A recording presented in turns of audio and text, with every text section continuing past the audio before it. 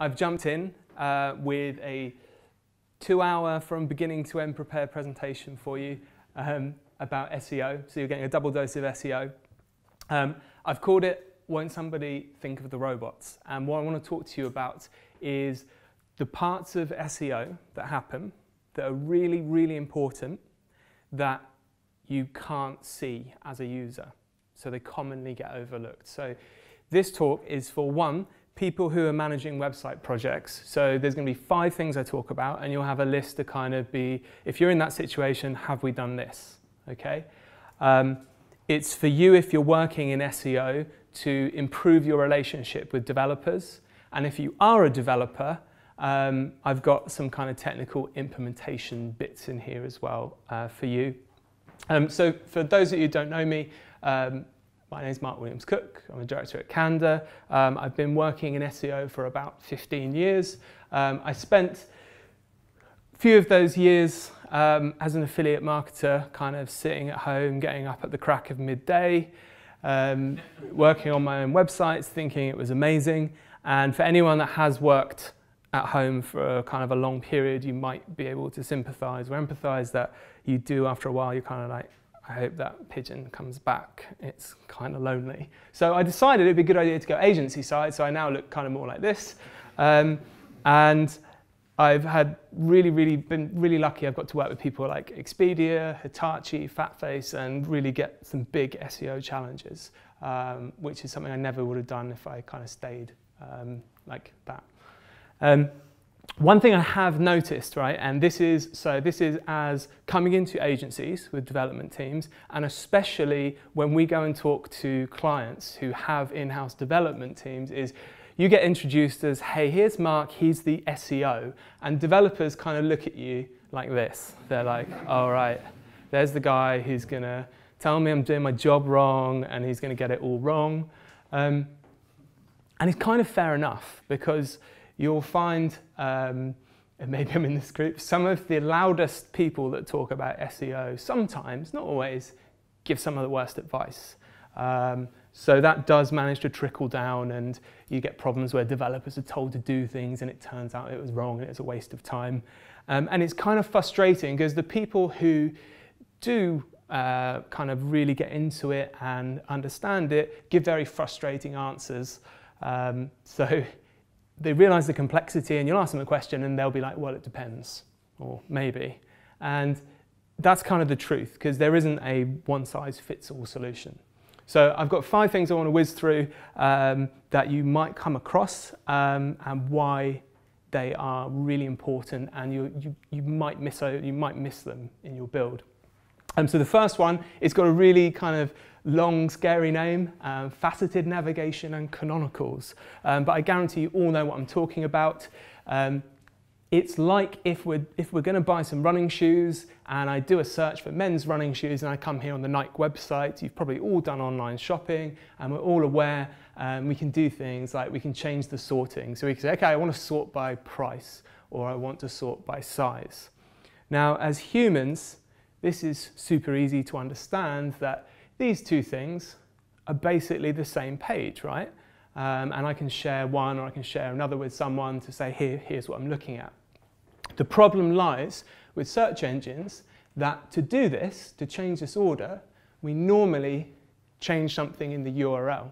And why this is a problem is that search engines think a new page is just something with a new URL. So the situation you end up in is you might have 20 different versions of this page, and Google's like, well, hang on, there's 20 pages that say men's running shoes. I don't know which one to rank. And the end scenario you have is rather than having one page that ranks really well, you get one pop up and it's like 10th and then another 20th, and you just don't rank at all. Fortunately, we do have um, something in our toolbox to fix this, which Nike have done. Um, it's called a canonical tag for developers. This is kind of now really coming into, I see it a lot in dev cycles, but it's been around for years and it was ignored for years. And it's essentially a way of saying to Google, hey, if you've got lots of these pages that look similar, this is the one, this is the original one. So any links or um, anytime you rank this page, this is the one we want to show. So you can forgive a developer for maybe missing this because they're focused, rightly so, on the user. And this is no user problem. You know, we don't care about this. We understand it. Search engines don't. So it's one example where, as an SEO, you add value because there's something you're doing for robots that might otherwise get missed in the development cycle. Um, as you can tell, I've probably I've got a couple examples of these. So this is actually, um, we did a technical audit on one of the UK's largest cashback sites. Um, this was back in sort of 2014. It's a good example of how long these canonicals have been a thing. And just solving this issue across a page with a few million, a site with a few million pages took them from about 600,000 visitors a month to around about 1.3, 1.4 million visitors a month, just solving this one issue. So the amount of pages Google thought they had went right down, but it started to realize which ones should rank. Um, so this problem really kind of scales with big sites. And there's, there's a 1B here as well, which is, as I said earlier, things are quite complicated, right? So it's not always enough to just read the best practice and say, right, that's how I'm going to do it, which is, again, really tempting to do as a developer because you follow the documentation, right? So to give a techie example, these canonical tags we're talking about, there's a way to put them on your website using Google Tag Manager, which is a tool Google's got. You can put them on with JavaScript. And then what happened was we were doing this for some clients with some good success. And we do it this way because their website's old and it's hard to update. And we're like, brilliant, this works really well. And then Google last year said, oh, if you, if you do this through Tag Manager, it won't work. And I was like, huh, that's weird because we're doing it and it's working. So I said to Google, hey, we're kind of doing this, so is, it, is, there like a, is there an exception if we use your tools that's allowing it to work? And Google said, no, it, it's never worked, it doesn't work. And I was like, huh, it really seems to be working. And then someone who was um, kind of a lot more switched on and uh, motivated than me did a full-blown study and found out actually um, Google was wrong about their own technology and it absolutely definitely worked. Um, and they weren't trying to intentionally mislead us as a community. It just so happened that these things are genuinely really complicated. So it can be difficult to know where do you get your SEO advice from. If sometimes you can't even trust Google. So sometimes experience does win out. Um, so the summary here is basically, even with simple things like telling two things apart, which look very different, Google's sometimes really bad at it and can get it wrong.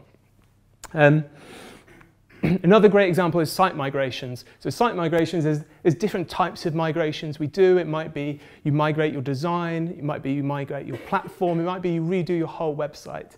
And one thing that scares me is we speak to clients and they say something like, oh, don't worry, our developer said they're redirecting everything. It's handled. Um, and my heart rate starts to rise because it's not, again, it's not that simple.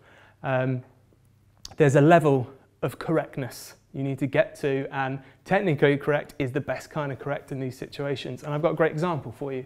So House of Fraser, rest in peace, had um, a very simple job to do, which was they were going to migrate from their non-secure to new secure URLs.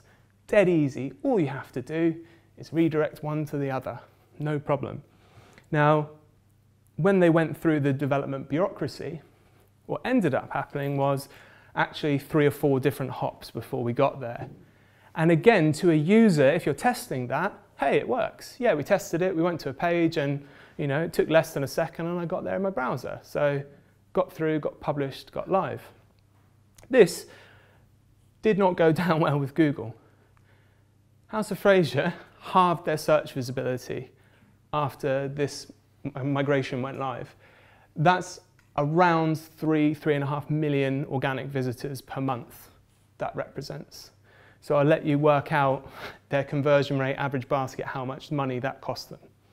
And again, this came from things that are kind of invisible. You can test it for the user and it works fine, but someone who isn't doing SEO or someone's doing SEO hasn't got involved and, and had a look at that.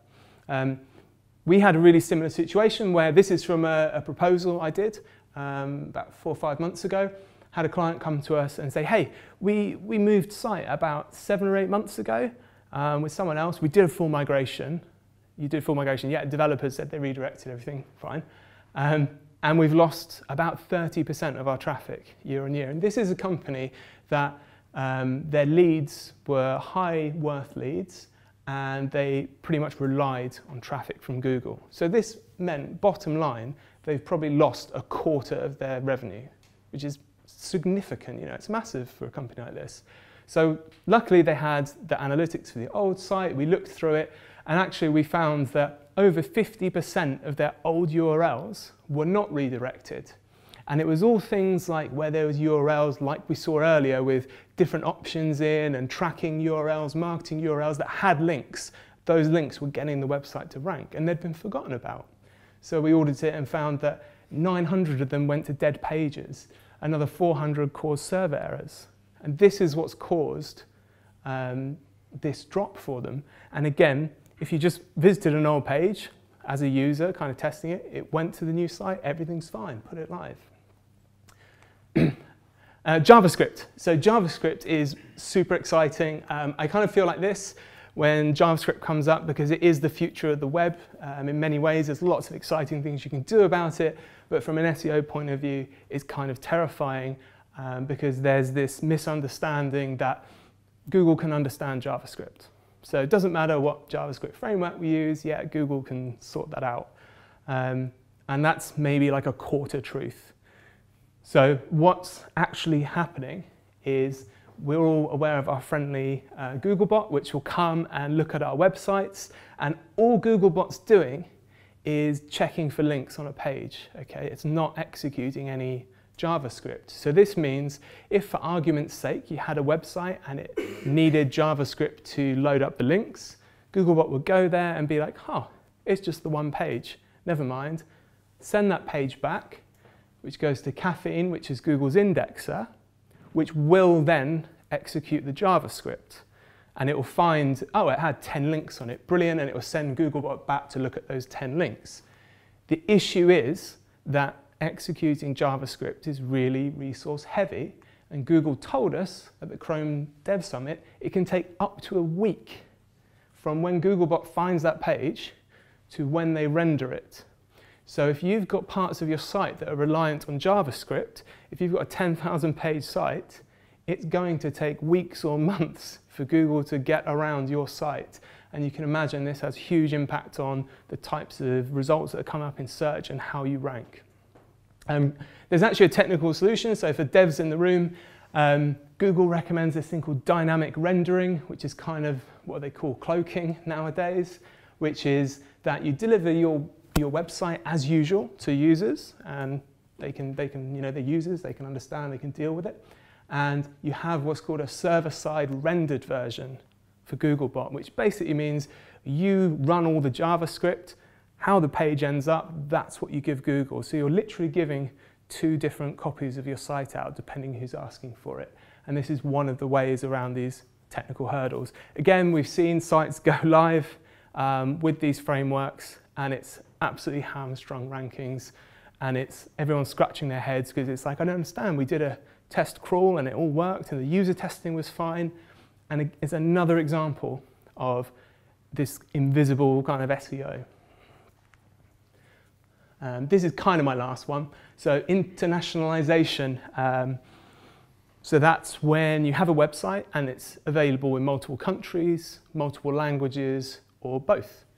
Um, and again, the common mistake is we'll see someone say, hey, we'll just redirect users automatically to their country. That's the easiest thing to do, right? That's helpful. Um, interestingly, as of a few months ago, if you're doing that quite aggressively, it's actually illegal now inside the EU to do that um, which is one reason not to do it. Um, but for many years, it's actually Google Webmaster Guidelines have been really clear on this. So this says, do not use IP analysis to adapt your content. IP location analysis is difficult and generally not reliable. Furthermore, Google may not be able to crawl variations of your site properly. That's because our friendly Googlebot normally comes from the US of A.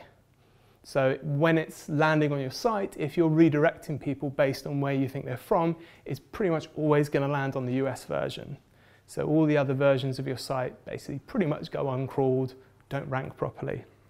Um, the solution is something like Apple, where you just offer um, offer the user which version they want and you can save that and they can change it.